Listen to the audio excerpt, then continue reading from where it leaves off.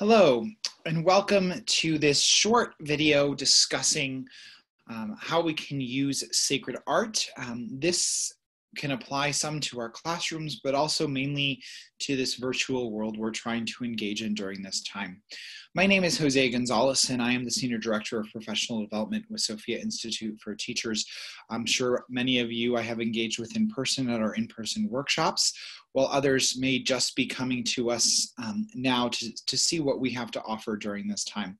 I'm just going to take a few moments to kind of guide you through and simulate a few discussions on sacred art, uh, and then just provide you with a few practical trip tips of what you can do with um, with sacred art, um, both in your classrooms, but specifically on a, on a virtual level as you're transitioning many of your classrooms during this time. Additionally, um, some of you uh, may be using our curriculum and are very familiar with how to do this in, on some level. Some of you may just be um, just looking for additional resources to supplement what you're already doing and are not very familiar with our curriculum. And so this is directed at both at both types of audiences, and we hope that you'll find it useful. To begin, um, let's. I want to show you this image. This is an icon. Uh, it's called Christ, Christ the Great Hierophant. Um, and so uh, there's three different types of um, art reflections I'm going to do. Um, right now, this is we're going to start with a with a standalone, uh, just a, one piece by itself. Um, and so this on its own, this piece of art completely on its own. Um, what do you see here? Um, and and I pose obviously this is not uh, I'm, I'm kind of just talking you through this. You would obviously spend a much more ex- extended time on this um, in, in a virtual medium with your students. But I encourage you, if you're doing a single image, to just put it up there. Give them time to discuss, to think about it. What do they see? For, now, there's might be certain goals behind what you want them to see and what you want to draw attention to. Um, and certainly lead them in that direction, but also be open to allow them to discuss and point things out that you may not have thought of because it will surprise you what they do discover. So in this particular image, if, if we look, um, you know, what is what is Christ wearing? What's he? What are what are some of the things he's um, holding on to, pointing to? They give us a clue as to what this image is trying to speak to us about who Jesus is. You see, you will notice Jesus is wearing this stole. He is um, holding um, this book of scripture. He is sitting on a throne, and he's also wearing a crown. Right. So this this image very much speaks to Christ being priest, prophet, and king, right? He, this, the stole reflects his priesthood, prophet, the scriptures, the word of God, and king, the throne and the crown, right? And so Jesus was priest, prophet, and king. What does that mean for us? Well, we are called to share in those offices. So, what does it mean? How, how are we priests? How are we called to be priests? Even those, those of us who are not ordained uh, to the sacramental priesthood are still called to be priests by virtue of our baptismal calling. So, what does it mean to be a priest? To be a priest, how do we do that? We make our lives an offering. We make our lives a sacrifice. Everything we do, we offer up as a sacrifice, right? And what a perfect time to be able to do that in this time when there's uncertainty, there's struggles, we don't know what's going on.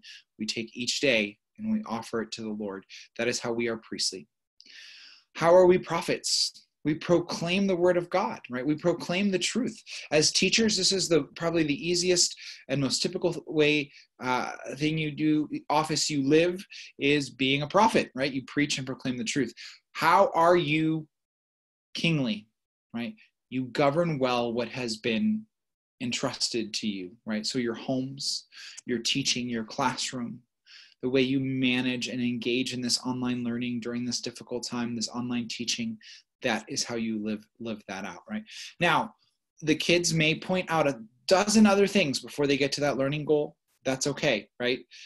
Um, they're they're going to draw and other and pick other truths from the, that because that's what art does. That's what beauty does is it points us and and each each person's perspective is going to be unique but hopefully provide beautiful insights into what the truth of the faith is.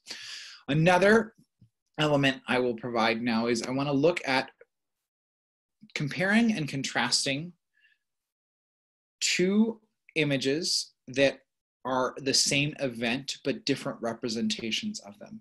So here we have the crucifixion by Van Dyck, right? What do you see here? What's the first adjective that comes to mind? Right, so that's just some questions and, and allow the students to share that. Maybe it's going to be in a chat bar, maybe ahead of time you'll send it to them and they'll respond um, in, in, in an email format, however that, that may be, right? Here is the crucifixion by Raphael. Same event, totally different depiction. Now what images? Now, now what adjectives come to your mind when you see this image, right? Take some time to think about that. Allow them time to think about it. And then we post them side by side, right? So now they have them both side by side. And a great activity here is three differences, three similarities, and allow them to come up with those, right? Um, maybe within um, Google Classrooms or whatever medium you're using, if there's ways to allow them to discuss with one another, they can do that or to just write them out themselves. But three differences, three similarities. The learning goal here with this particular one is we're trying to get them to see um, the two natures of Christ, right? Jesus on the Van Dyck one is Jesus is fully fully man, and the Raphael Jesus is fully God, right? We see the reality and the difficulty of what suffering is from a human perspective. Um, we see the human side of the suffering that Jesus experienced, the agony, the pain. And then we see kind of the other one points to the resurrection, right? We see the glory of suffering can be redemptive, that Jesus is um, is is is fully God, and that He will transform suffering. Right? He can take our suffering and transform it into something beautiful. So.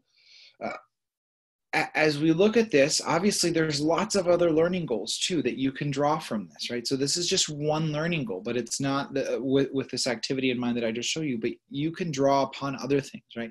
So comparing and contrasting two um, two images of the same event. Now I'd like to talk about comparing and contrasting two images of different events or different things, yet have similar themes. So here this is The Prodigal Son by Rembrandt, right? Allow the students to kind of sit with this. What do they see? What do they notice? What do they, you know, what jumps out at them, right? They might mention the prodigal son who's missing a shoe. They might mention and see that the father, if you look closely, the two hands are different. The father's hand, one is definitely a, a man's hand, one is more um, a feminine hand, right? If you look closely, the father is completely blind, right? What does that say? What does that do? So you can stimulate lots of discussion here. After you've given them some time with just this one, we move to this one, right? this is the healing of the blind man right at jericho so what do you what do you notice in this image what do you see? Um, what are the things the colors tell you? The faces the way they're you know you notice there's one face that's facing looking at the crowd looking away from the healing while everybody else is looking at the healing. Could the could the person looking away be be judas maybe right?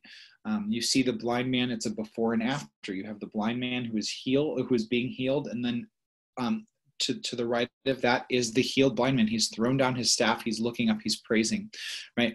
So um, lots for them to reflect on. But now let's look at both of them side by side. What are some common themes? What are some different things that you notice? What is this pointing to, right? Does this show God being a divine physician? The, the, you know, pointing to Jesus as the divine healer. Look at how both the Father and Jesus are both bent down toward the person that they're bringing mercy to, right? That God comes down to meet us, right? Notice, uh, notice that uh, both both the fa- both the Father and Jesus are touching, like are extending a hand toward those they are healing, right? So one might be a one might be um, a, a, spiritual healing, a spiritual embrace, while the other is physical, but the two are connected, right? So lots that you can reflect on even back and forth. Like you, you know, in the I, I pointed out the the Judas figure when it was just the healing of the blind man, but look at the um, the older brother off to the side, and the other one looking somewhat in, indignant. So so there's people kind of rejecting the mercy or jealous of the mercy in both. So so lots that you can kind of bring in and discuss there. So those are just general ideas. Um, kind of more practical tips of, of what I really want to um, encourage you. Um, you can spend time with just one image, compare and contrast similar images, or spend time finding common themes between two completely different images, as, as I just showed you. Um, you can use sacred art to help guide meditations. I encourage you from a from a distance, maybe put together, you know, a virtual stations of the cross, and we actually have a resource for that on our on our website. Um, but you know, have images of the stations of the cross and have them pray with those. Virtual rosaries that exist out there using sacred art images to help with a rosary.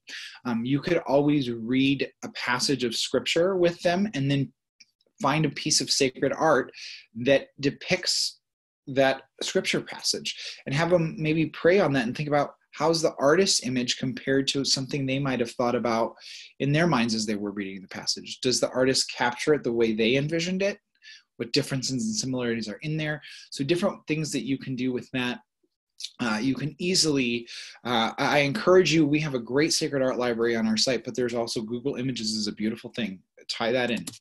Um, don't be afraid of awkward silences at the beginning, especially if you're not used to doing this. If, if you're, I'm sure many of you who, who have done this many times know what it's like that sometimes there's awkward silence and it's okay. You just let it sit, right? Don't expect it to just some some days this flows perfectly other days it doesn't. That doesn't mean it's it's a failure if you're not generating amazing discussion every time right? But but it's a place place to start.